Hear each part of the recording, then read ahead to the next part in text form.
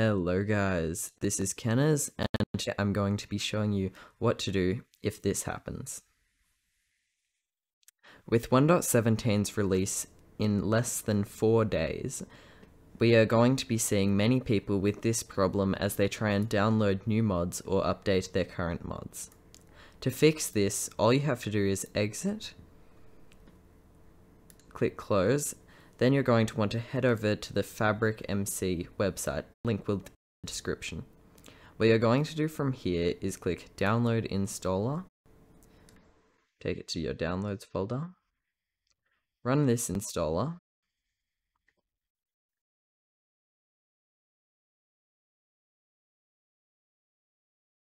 go to the newest version of Minecraft. For this I'm going to be showing snapshots as I'm doing this as an example for when 1.17 releases.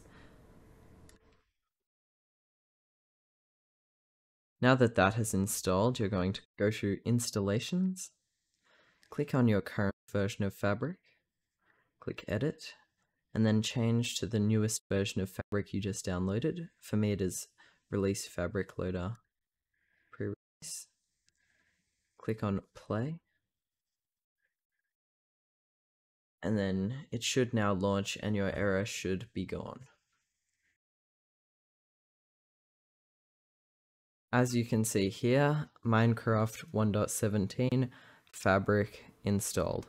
This is a pre-release as I am doing this before the official release, but I hope this helps a lot of you when the official release comes out. As you can see, my 1.17 mods are now working.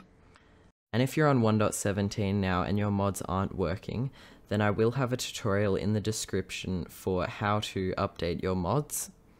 Thank you so much to the Fabric dev team for keeping this so well updated. That is the end of the tutorial. Thank you and good